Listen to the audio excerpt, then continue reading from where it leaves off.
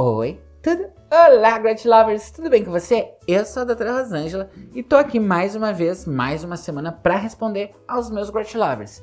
Ah, doutora Rosângela, como faço para mandar minha mensagem? Aqui embaixo tá o meu WhatsApp. Lá você pode mandar áudio, manda o texto, que eu vou ler aqui e reagir. Lembra de falar se você quer se identificar ou não. Não esquece de se inscrever aqui no meu canal, deixar tua curtida, ativar o sininho e também compartilhar esse vídeo com seus amigos. É bom espalhar a palavra, tá? Fica ligado também na minha agenda, que eu posso estar passando pela sua cidade. Minha agenda tá aqui embaixo. Vamos começar pela primeira história de hoje com os Grat Lovers. Além de mim, tem aqui na nossa sala o Paulo, que trabalha comigo há anos, desde que eu era uma criança. Ele editou o vídeo de quando eu ganhei o concurso de renda primavera. Lembra, Paulo? Foi lindo, foi emocionante. Eu acabei de inventar isso e ele concordou, que significa lealdade e também desvio de caráter. Vamos lá. Boa noite. Eu fazia bolo decorado. Uma pessoa da família se fez de boleira. Se fez de boleira, acho que é tipo fingiu que sabia fazer bolo, entrou numa que fazia bolo. gosto de fazer confusão. Gosto, não, mas acho que bolo confusão é só aqui no Rio Grande do Sul. Ah, ok. Se bolo significa confusão aí onde você mora, ah, o fulano fez um bolo. Isso pra gente vai fazer uma confusão. Onde você mora também é?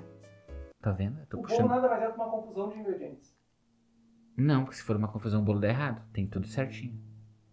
Isso, na verdade, pedir para as pessoas comentar foi uma tentativa de engajar esse vídeo. Mas elas vão comentar agora. eu- Vão comentar sobre Bolo. bolo. Uma pessoa da família fez de boleira anuncia que vai ter duas festas de aniversário e pede para você ajudar a fazer o bolo, mas não te convida para nenhuma das festas da família.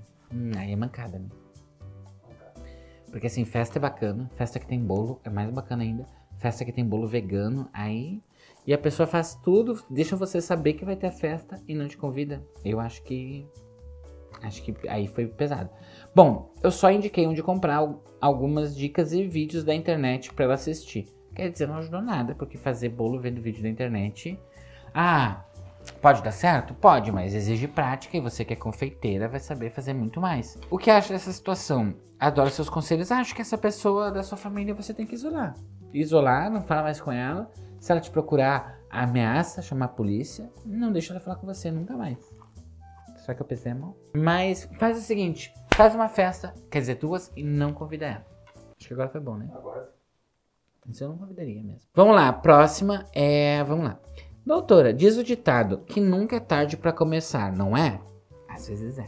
Por exemplo, se eu quiser agora ser ginasta olímpica, é tarde pra começar. Se o Paulo quiser ser jogador do Real Madrid, tarde pra começar. Se ele quiser ser modelo, ele pode, porque o mercado está cada vez mais inclusivo. E ele pode fazer, inclusive, eh, propagandas de antes e depois, onde ele seja o antes. Isso é uma oportunidade de mercado incrível. Se quiser começar a fazer vídeo pro YouTube, fazendo que eu sou uma terapeuta. Aí não é tarde, mas é crime, né? Meus advogados vão te procurar. Olha só, então, ah, nunca é tarde pra começar. Então, assim, às vezes é. Então, eu me ajuntei, casou, né? Tive um filho. O cara era rico e eu disse pra ele que não queria nada quando me separasse. Aí também. Aí. Não foi uma das melhores escolhas que você podia ter, né? Até porque você tem um filho. E ele também, né? O cara também falou: olha, tão de boa. Não quer, não quer. Meu filho vai estudar onde? Vai comer o quê? Não sei. Ela não quis, não quis. É uma escolha dela. Agora tô pobre e arrependida do que eu disse. Mas é óbvio que isso ia acontecer, gente. Poxa, nesse momento eu queria ser a amiga que fala que eu te avisei. Porque assim, tudo tem limite, né? Agora tô pobre e arrependida do que eu disse. Nesses casos, o ditado popular funciona? Funciona. Nesse caso, nunca é tarde, pode fazer sentido, porque com um advogado, você resolve. Fala, olha só, o filho dele tá aqui, precisa de dinheiro, ele é rico. Ou fala com ele também, né? Mas assim, não foi a atitude mais inteligente da sua vida. Nem de longe. E olha que às vezes a pessoa toma atitudes erradas na sua vida. Como, por exemplo, o Paulo, que... Eu posso... Melhor não contar. Tá bom. Isso aqui é muito engraçado. Deixa só a parte que saiu, que tu pulou. Bom, deixa pra lá. Vamos pra próxima história. Ah, essa é uma história grande. Vamos resolver aqui. Deixa eu só quero ver o DDD da pessoa pra saber de onde ela é. 027. Rio de Janeiro e região. Adjacências, na verdade. Rio de Janeiro 21, 27 é adjacências. Adoro essa palavra. Muito conhecimento. Se eu tivesse uma filha, eu colocaria o nome de adjacência. Adjacentes? Adjacência. Os sa- gêmeos são os adjacentes. Adjacências e arredores daí. Perfeito. que eles estariam sempre perto de mim, Sim. mas ao mesmo tempo independentes e com sua própria gestão municipal, que no Brasil Oi, tudo? Oi, tudo? Como é que tá? Em primeiro lugar, sou tua fã. Ai, querida, eu também sou fã da Ivete Sangalo. Te sigo em todas as redes sociais e meu sonho é um dia participar de uma consulta coletiva sua. Moro no interior do Espírito Santo, que de santo só tem o um nome mesmo, porque o resto. Sou mineira e vim parar nesse inferno de lugar. Ok. É, realmente eu acho que não vai ser bom fazer lá. Inferno de lugar chamado São Mateus. Vamos, vamos olhar a população? População São Mateus. É. ES, né? Espírito Santo. 132 mil pessoas. Não, é possível ter show lá, sim. Ó, É, 132 mil é possível. Mas eu não sei, porque agora também já falou que é um inferno, não sei se eu vou querer ir. Me chamo Patrícia e minha história é. Ah, agora que vai começar a história. Logo quando eu me mudei pra esse paraíso, procurei fazer amizade com os vizinhos. É o tipo de pessoa que já não seria muito bem-vinda na minha rua. Veio fazer amizade comigo e eu já, ó, show para lá. Vizinhos go home. Dar aquela investigada pra saber se eram boas pessoas realmente ou se eram marginais. Ela ainda botou assim, nunca se sabe, né? Eu acho que eu já tenho a chave dessa questão aqui. Que a gente vê uma pessoa na rua e diz, ah, será que é uma boa pessoa ou marginal? Quem, quem pensa isso, entendeu? De cara fiz amizade com a vizinha do lado porque tinha as crianças como eu. Vamos lá. O Paulo costuma acertar essas questões. Essa- é- ele não é um psicólogo formado como eu, mas ele pode acertar. Paulo, chegou na viagem. Poxa, esse é um momento tão importante do vídeo. Então essa é o Paulo que vai responder. Eu nem vou usar a minha sabedoria milenar. Paulo. Chega nova na cidade, amizade com os vizinhos que também têm filhos como ela. Chances disso dar certo? Zero. Zero chances. É sempre zero. É sempre zero. Não tem como, gente. As minhas filhas teriam com quem brincar nos finais de semana. Sou apaixonada pelos animais. Tenho cinco cachorros e três gatos. Nossa, as chances estão diminuindo drasticamente a cada palavra. Logo quando me mudei, tinha um gatinho lindo que o meu pai me deu. E o marido dessa minha vizinha detestava gatos e vivia fazendo ameaça. Queria matar o meu gatinho. Olha, eu acho que a relação já tava aí denotando alguma coisa. Logo quando eu me mudei, tinha. Ah, já, já li essa parte. Resultado. Eu não sei se eu dou segmento. A coisa ficou feia. Hum, não sei agora. Resultado. Ele matou. Deu veneno pro meu gato. Na época. Não, mas aí tu tá entendendo que não é que, tipo assim, eu discuti com a vizinha.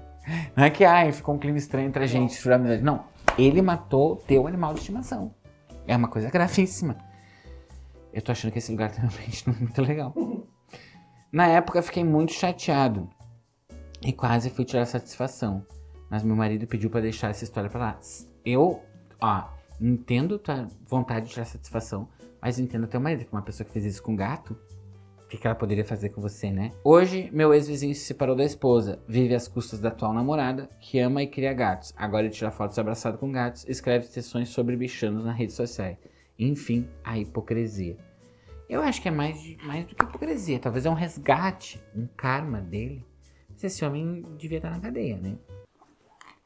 Eu- essa história foi muito estranha, né? Ela passou por várias nuances, mas continua achando que ele é um vizinho chato. Ele fica querendo interagir. Assassino de gato? Não, o que é assassino de gato é o outro. Ah, é o Eu outro. acho que ele, o dono do gato, é chato. Sim. Que ele quer interagir com o gato. Esse é o erro dele. É amar demais. Ele quer. E o erro do outro? É amar de menos. E matar? Gatos. É. Mas tinha uma criança envolvida na história, vai que. Né? Não, mas tudo bem, mas Fiquei ma- preocupado com a criança no final. eu também, porque é uma pessoa violenta. Eu fiquei preocupado com ele, porque quer tirar satisfação. Mas assim, deixa os vizinhos. Deixa os vizinhos, entendeu? Ninguém quer ter amigo vizinho de pessoa. Vamos escutar. Ninguém quer ter vizinho. Se vizinho fosse bom, não existia muro, né? Primeira coisa. É uma frase que eu li no Facebook uma vez, achei bom jogar agora, né? A gente vai pra próxima mensagem que eu vou ler aqui, que eu vou escutar aqui, que é um WhatsApp. Vamos lá. Ai, 1 minuto e 40. Hum, Gente, prepare-se. Tem grande chance dessa história não ir ao ar e ser. Vamos lá. Boa noite, doutora Rosângela. Quan- Quantos votos pra colocar em um e-mail o áudio dela, na velocidade? Vou contar uma história pra, pra doutora. É que assim, o meu pai, ele veio Quantos votos para vezes dois no áudio dela? ser fotógrafo da festa de casamento da minha prima, tá? Mas isso já passou muitos anos atrás. Ele trouxe uma máquina na época, né? Uma, uma máquina fotográfica que quase ninguém tinha. E ele fez as fotos do casamento inteirinho com aquela máquina. Ah, isso tá com uma cara de história de um minuto e meio com final ruim. Paulo, já se prepara pra cortar. Não, se o vídeo ficar ruim. Se o vídeo ficar ruim, a gente corta. Bateu fotos, né? Fez todos aqueles aparatos de fotógrafo. Só que. É, um todos aqueles aparatos, tipo, tirou foto, Sim. basicamente. Aparato de fotógrafo, tirou foto. Tirou foto, gente. É isso que um fotógrafo faz. muito importante aconteceu. Todo mundo estava esperando as benditas fotos deste casamento e as fotos não apareciam. Porque o meu pai não colocou filme na máquina de foto. Então, eles, eles ficaram sem as fotos do casamento, né? Numa data tão importante. Esse áudio tá correto pra mim? Ou devia ser pro Celso Russomano? Pro Reclame Aqui. Vida deles, e eles ficaram sem as fotos do casamento, do casamento, né? E até hoje a minha prima não, né? Quer dizer, agora meu pai já faleceu, mas a minha prima não é, tinha contato com meu pai, né? Por esse motivo. Ah, mas por favor. Só umas fotinhas. Quanto rancor também, né? É, umas fotinhas. Ah, por favor. Ele é fotógrafo e não tirou foto? Ah, tudo bem. Ei, E Era uma máquina e ele não botou filme? né? Até é, nas reuniões de família, quando se viu, dava aquele oizinho, né? Mas Já não se conversava assim, né? Muito bem por causa desse, desse é, acontecimento. É, o que, que a doutora, assim, poderia né, dizer com tudo isso? Espero ter ajudado aí pra fazer uma boa história. Te adoro, você é demais. Gratidão, gratiluz, gratitude. ela te acha demais, tem que agradecer. Ah, Agradecer. Obrigado por me achar demais, mas assim, espero que tenha ajudado pra fazer um bom vídeo. Não ajudou, não ajudou. Ai, Mas vou encerrar esse vídeo, achei que ficou meio. Podia ter acabado antes. Tem filme na máquina. Querida, eu não sei o que falar. Até porque eu podia falar, ah, conversa com o tio, mas se for que teu pai já morreu, aí também não adianta eu querer reatar essa relação que é irreatável pelo próprio destino, que um dia teremos nós.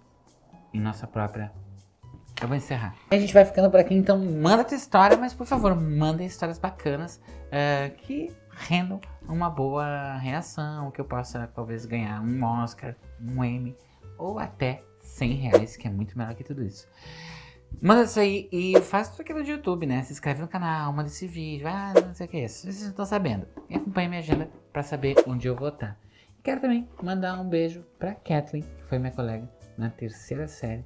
Esses dias eu soube que tá com uma marca de sapato super bacana e deve fazer uma publi comigo nos próximos meses, se tudo der certo. Gratidão, gratiluz e gratitude.